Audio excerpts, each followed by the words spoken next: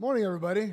Um, I was thrilled and flattered to, to receive a phone call from Juan and the Grimaldo group about a month ago asking me to speak here today, and I'm happy to be with you all. Packed house. I'm glad you all came. Hopefully, you, you learned something and, uh, and, and take away a few things. And uh, hats off to the, uh, the presenters who have already shared their, their, their wisdom and knowledge. I'm going to piggyback a lot off of what you've already learned from them as it applies. Next slide. All right, a bit of an introduction. I'm from Arizona. I was born here in Mesa 38 years ago. Um, I spent four years in the Marine Corps. I have two kids. I've been married to my wife, Sonia, for 17 years. Um, just so you'll have a little bit of context for age and demographic and, and, uh, and, and origin, if you will. Uh, next slide. Why am I here? I've earned multiple degrees in business management. My career is in organizational leadership, specifically in higher education. I'm also an adjunct faculty member. I teach business. The reason Juan called me is because I don't work in real estate. I'm not a real estate professional. I'm not a loan officer. I'm not a real estate agent. I've, I've never had a real estate license. I don't buy and sell homes professionally. Um, but somehow I own 11 of them. And that is what Juan wanted me to share with you all today how I did it and sort of my thinking and my mindset that kind of what led my wife and I to, to, to where we are today, and hopefully where we go from here. I, I've inherited nothing. I put that in there. My, that's a weird thing to say, right? I hear that a lot. You must have inherited something. It's not true. All my parents and grandparents are still alive, and I don't stand to inherit much anyway, so I just wanted to throw that out there. It's kind of a misconception, I find. A lot of folks have, have mentioned that to me when they hear bits and pieces of my story, and uh, just wanted to throw it out there for context. Next slide. All right, so I'm used to walking around and, and teaching a class. I apologize, I'm kind of stuck here. I like that. All right, uh, so you hear Instagram reels and commercials on television, five steps for financial success. A guaranteed. Blah, blah, blah. I don't have any scientific formulas, y'all. I, my story is a personal experience story. It's how I got here. It won't look the same if anybody else does it. It'll look a little different, hopefully with the same outcomes. I just want to disclaim that a little bit because I'm not one of those people that, that just assumes that everyone can do it just because I did. It's going to look different going to feel different. The houses will be different. The land will be different. The people involved will be different. Not everyone's story is the same. Yeah, some, some, exactly. Married, single, children, no children, male, female, whatever the case might be. So please don't take any of my story as scientific fact or a turn by turn roadmap. That's not what it is. It's just my experience, and hopefully you all gain something from that and think about what you've already learned based on insurance loan rates and different mortgage programs, and even buying and selling with the Grimaldo Group, if you choose to, how that fit into my story and how it might fit into yours. So I'm glad that Juan called out mindset. That's what I'm going to focus on. That's where I think the lessons are mindset, belief structure, if you will, your relationship with money that was already, that was already talked about. I think that's very important because, like I said, your story is going to look different but as long as your mindset is proper, then, uh, then, then you can be uh, uh, you know, as successful as, as possible as it takes you. Um, and mindset changes over time. It certainly has for me. So I'll get into that as well. So without further ado, my story. Why am I here? I lied. A little bit more ado. I'm talking today about real wealth. What is real wealth? In my mind, it's net worth. What is net worth? Total assets, all combined? Minus total liabilities. Whatever's left over is your net worth. If you got a $100,000 Lamborghini with a $100,000 car loan, how much is your net worth? Zero. I like Lamborghinis, by the way. But the point remains that's not real wealth. If you own a Lexus with no car loan, it's paid for, that's wealth. But if you got a $50,000 car loan on that car, it's not real wealth. It looks nice, it's fast. It's not what my goal is. There's nothing wrong with Rolex and Armani shoes. I want both of those things one day. But if you get those things with $25,000 in credit card debt, that's not real wealth. Looks nice, it's not real wealth. Real wealth isn't a home with a pool and you've got one mortgage, you've got a second mortgage, you've got a home equity line of credit, and you've got four other loans borrowed against your home. That's not real wealth. Real wealth is a home with a pool that you own outright, and there ain't no mortgages and there's no loans borrowed against it. That's real wealth. That's my goal. That's my wife and I's goal. That's what our story is about growing real wealth. Net worth, in my opinion, is the only measuring stick that really matters. You can have other things that are also goals of yours eliminate debt, um, you know, uh, cash flow on a monthly basis. Any number of things can be additional goals uh, in your real estate sort of ambition or story, if you will. My wife and I decided that net worth was going to be the only point that we focus on because not every month is a good month. Not every year is a good year. And you'll lose money from time to time. It sucks. So I'm going to I'm to talk about mindset and talk about net worth because that really exemplifies the long game. I'm going to talk about uh, you know keeping the goals in mind and uh, really really just understanding that Missing the forest for the trees can happen in any walk of life, and it can certainly happen if you're trying to invest, invest in real estate. And when the air conditioning on one of the rentals fails and you're out $10,000, that sucks. And it makes you not want to do this anymore because you're out of pocket for that 10 grand. You're the owner, not the renter, you. But that particular property has appreciated $100,000 over the past four years. So, am I really in the red? I'll get into it. Okay, now without further ado, it's 2007. I've been home from the Marines for about three minutes. My wife and I knew we wanted to buy a home when I got home. I got back from my last deployment, it was about eight months long. While I was on deployment, my wife and I really, really pinched every penny and we saved every dollar we could because we knew we wanted a house when I got home, and that's what we did. $12,000 was our down payment, FHA loan. Where's Sergio? Shout out to FHA loans, it's a great deal. PMI, because we didn't have 20% down, bummer. Didn't quite make it. It's all right. First time home buyers. It was all right. It's all right. It's all right. Saved up, and we moved in. Yay, happy. Six months later, you'll notice the year, some things changed in the housing market. We started to hear this horrible thing called being underwater. Did some quick Googling, and sure enough, we were very underwater. And if you don't know, that means you, you, your asset is worth less than you owe on it at the time. It's very frightening, it's very off putting. And uh, we were so, we, we were very underwater. Hundreds of thousands of people were underwater, including us. We were so far underwater, we were finding Nemo, I swear to God.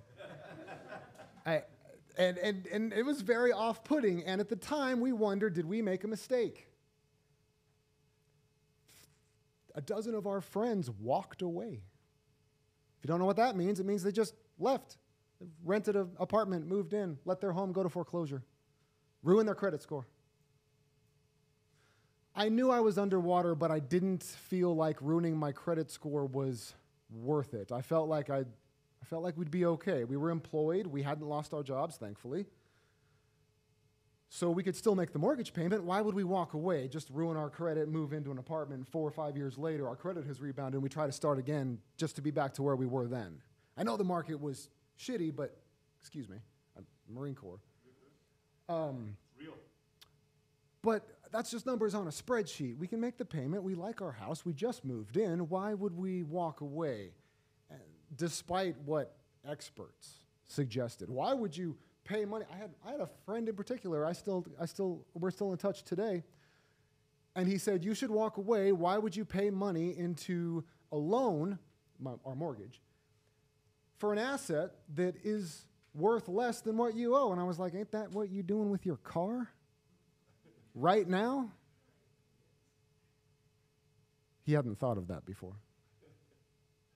Good guy, though. Great guy. All right.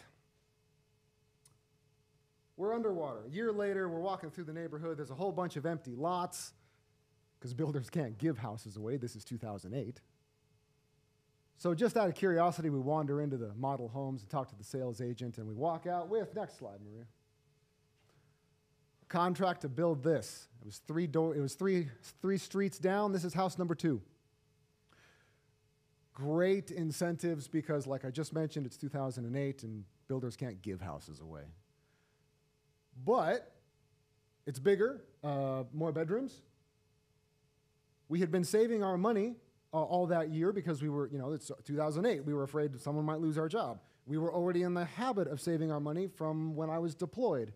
So we were saving our money anyway, just in case we wanted a nest egg. And so we had a little bit in the bank. And this was going to take a year to build. And in that time, we figured we could get the rest of the necessary down payment to get up to, well, as much as we could. This was a conventional loan. We already had an FHA loan. At the time, we, we couldn't get a second one because we already had a home, so we had to do conventional lending. Didn't quite make it to that 20% threshold, so we had PMI, and we moved in. So, what do you do with the other house? What do you do with house number one? You can't sell it, you're underwater. Well, gosh, honey, maybe we could try to rent it.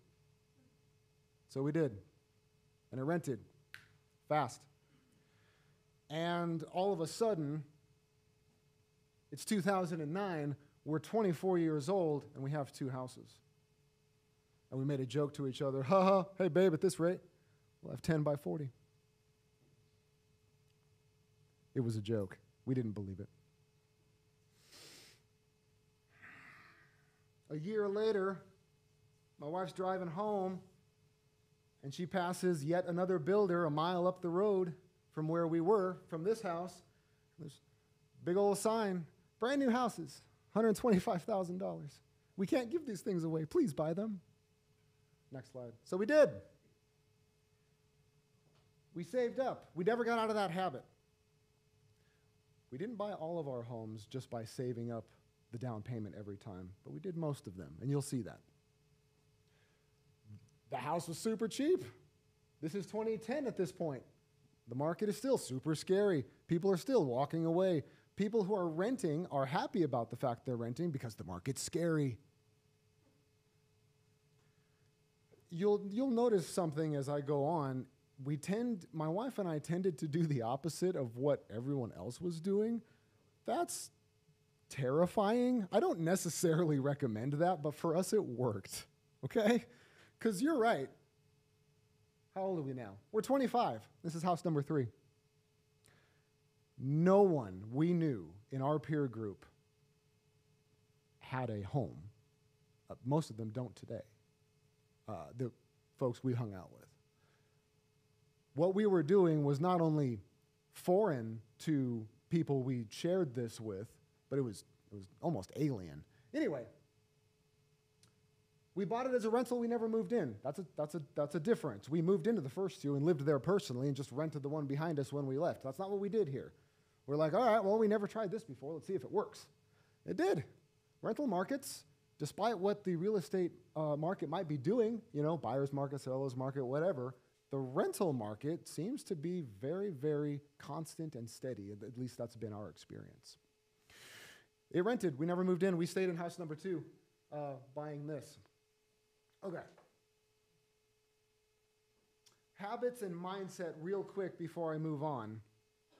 We didn't know when the next opportunity would present itself. We just assumed it would, and we wanted to be ready when it did. So we saved our money. We lived beneath our means on purpose. During these first two or three years, uh, I, I, I, received a promotion uh, and even got a bonus at one point. They did away with those, but, uh, but at one point, and it would have been very easy to upgrade our lifestyle up to the limit of our income. We did not do that. We took that extra cash. We kept our lifestyle the same. We took the extra and we just stashed it, thereby making our already uh, positive habit of saving our money every month easier and faster because there was more being saved every month. You know, groceries thankfully didn't cost that much different than they had over that time period, and you know, car insurance stayed kind of the same. And, you know, and so we were able to save more. What year is it? It's 2010. 2013, one such opportunity arose. We kind of cooled it for a second. We were like, oh my God, we got three houses. What are we doing? Uh, how old are we? And But in 2013, an opportunity presented itself and we jumped on it. And we were ready to do that because we were saving our money because we knew we wanted to be ready. Not because we knew what the next opportunity would be. It's okay if you don't know. We didn't know. I don't know today what the next opportunity will be. But I know that I want to be ready for it. And we were. Next slide. This thing was kind of a monster. Um, my parents were selling their home. This thing. And I was like, hey, I've got an idea, because I have three houses and I know what I'm doing. Sell it to me. Skip the, uh, skip the realtors, keep all the equity. No offense to the Grimaldo group.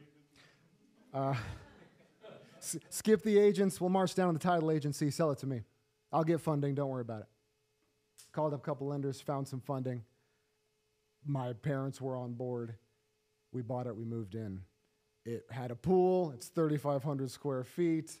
Uh, it's kind it was it was a former model home. It was gorgeous. It's kind of a monster, honestly. We didn't think we would ever leave house number two, but here we were again, moving into house number four. We weren't underwater anymore with house number two, thankfully. It's 2013 at this point. Market's doing a little better. We weren't underwater, so we could have sold house number two. Nah. We got two other rentals. Let's keep this thing going. Turned it into a rental. It rented. It's still rented to this day. And uh, we moved into house number four. A year later, we needed to move. My wife had a very lucrative internship opportunity for her doctorate degree in Avondale. Oh, before I question in the back. So the third home, was that a conventional? Yes, it was. And then, um, so they take in consideration the rental property income as income, right? Yes, they do. And I wouldn't have qualified for that if they didn't. Yes, that, that is key. If you're trying to grow your rental fleet and one or two of them are empty, it's going to be tough. Yes, because I, I as much as we had a down payment, I didn't have. Um, it was conventional. It was going to be conventional anyway because I still already had that that FHA loan on house number one, and that was still there. So I couldn't get another one, so it had to be conventional. Unfortunately, I didn't get the 20% threshold to eliminate PMI, but yeah, But after five years, again, FHA forgive me, right? I believe so. I would defer to my friends over a Guaranteed Rate for that question.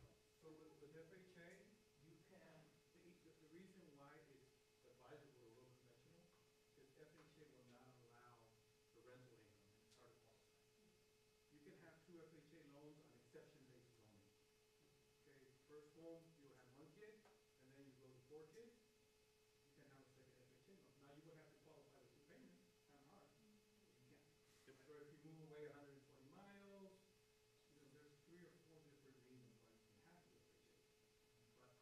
But it doesn't work because of- it's hard. That's why you. Uh, that's why you have friends in the industry. Ask them questions. All right. So we needed to move to Avondale because that would have been a hell of a commute from Gilbert, and we found next slide what would have been house number five, but it got away.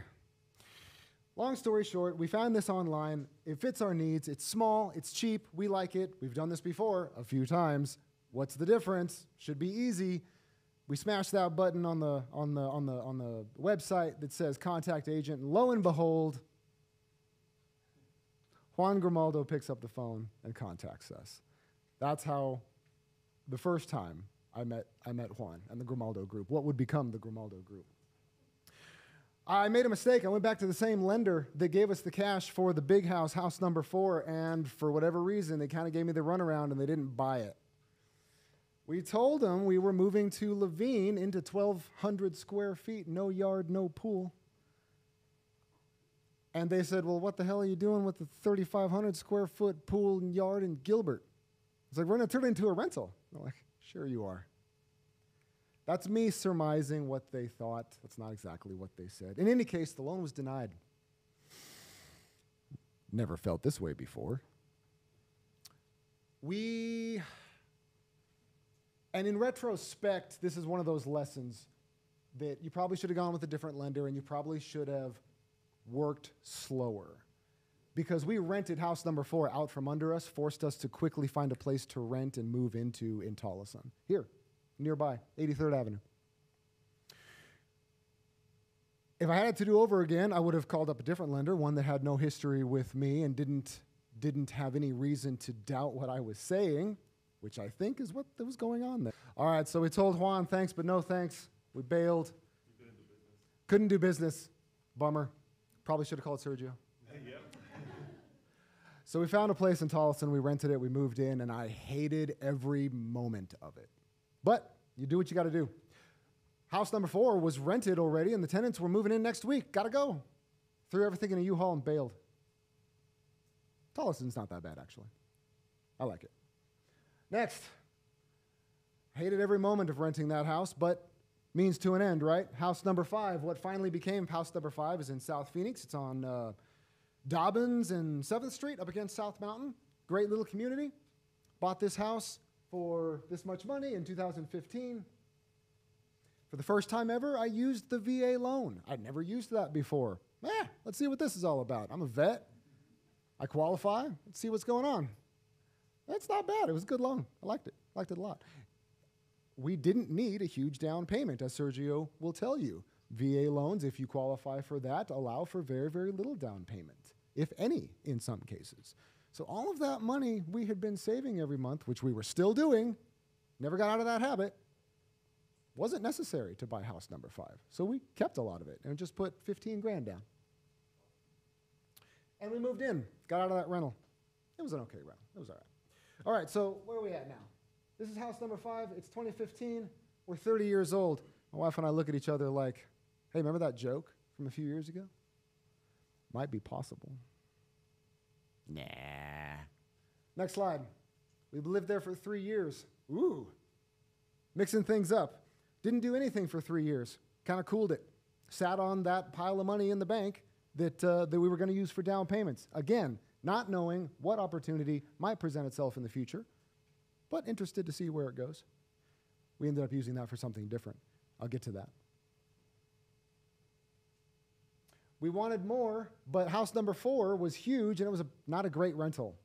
Um, you needed to be like a family of five or six to justify living in that house, quite honestly. You had to be like a, you know, a doctor or a lawyer to afford the rent payment. It stood empty for several months at a time. It was not cool.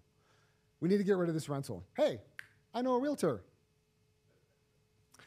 We called up Juan and said, Hey, remember us from a couple years ago? Great. We have a big house in Gilbert we want to sell. They sold it for us. We did well. That was the house that my parents used to own. Uh, it had been a rental for four years at this point, and we sold it. And with that money, we paid far too much in capital gains. Shout out to 1031 exchanges. Didn't do it. Should have.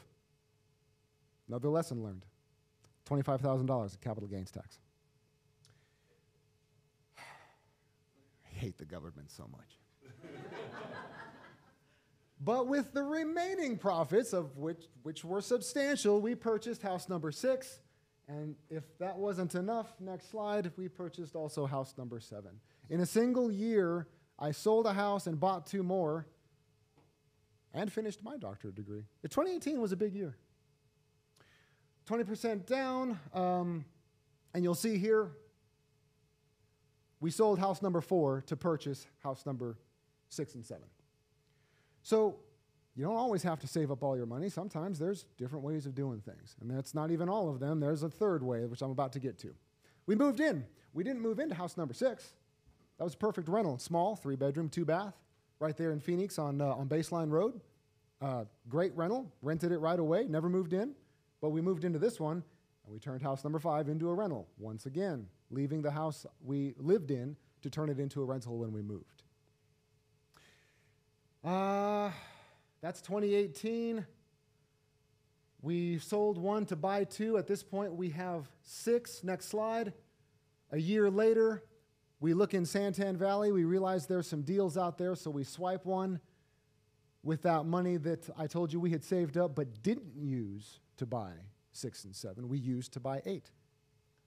Saved up for the 20%. As you can see here, uh, avoided PMI because we had 20%. That was pretty cool.